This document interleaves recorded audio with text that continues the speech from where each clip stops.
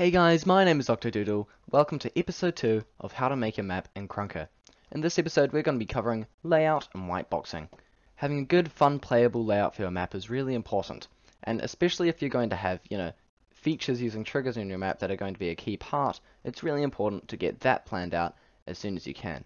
Now the key things to take into consideration when, you know, planning out your layout is the general shape. For a Krunker map it's always good to sort of have something a bit like a figure eight. You want to have a central lane and two side lanes. You can always expand upon this, but that is sort of the general guideline to go by. The reason for this is because it opens up more flanking routes and also centralizes where a lot of the fighting happens, which is good because it keeps players together, especially if it is a larger map. In this map, as you can see, we've got an outer lane here, which is in the white boxing phase, and we've got our central lane here, which is where we're going to have an actual train running through. And we've got more flank routes going underneath. Now, we're yet to do the left lane, but we'll do that right now in a time lapse.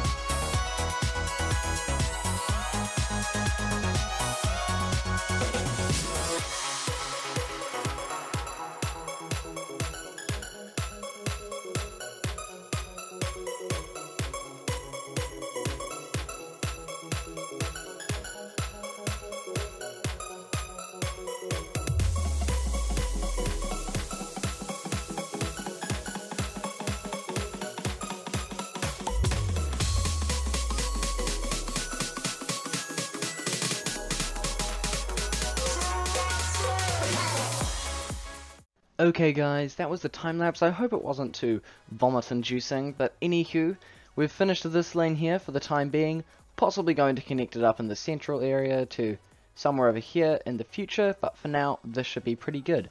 Anyways, let's load into a tester and see how it feels. So here we are on the train tracks in the center of the map. This is where eventually we're going to have a train coming down the middle, actually moving.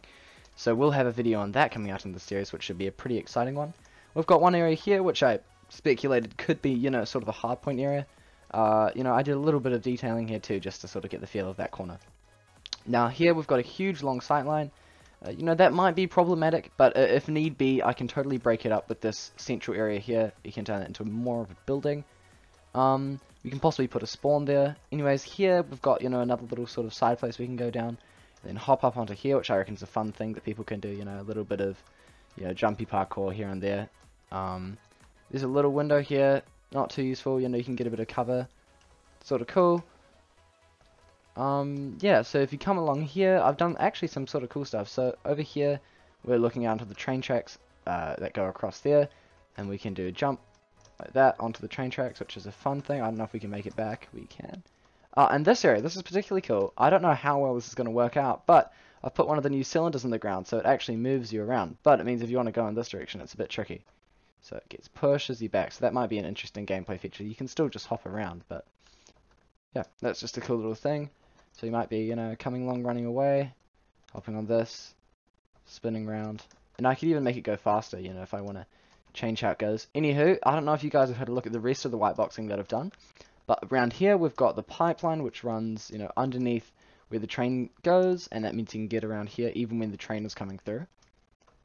So that's pretty cool. You can, you know, run around here. This also leads into this area here, which has some piping and stuff. Uh, you can't get up from here, but you can jump down here.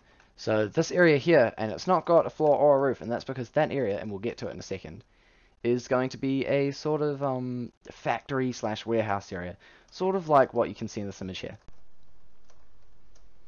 I mainly got the inspiration for that from the guy I'm working with, Mr. Needle. He's the, the guy who's going to be doing the mod for the map and all the custom models. Should, he's a pretty talented guy, pretty amazing. And this area here is going to be looking out into a pretty vast, open, you know, factory area. And it should be pretty awesome. And if you're, you know, running away from someone, this little place down here, I don't know if I can make the jump, but this is going to be a fun little escape route you can take. Anyways, guys, that does do it for this episode. You know, this episode was just covering white boxing and sort of level design. And as you can see, of course, we've, you know, been doing our white boxing. It's all very white. We've got our left lane, our center lane, which is where the train's going to be running, which is where, you know, lots of the fighting should hopefully happen. And we've got our other right lane. So here we go. We've got our right lane here, runs through here.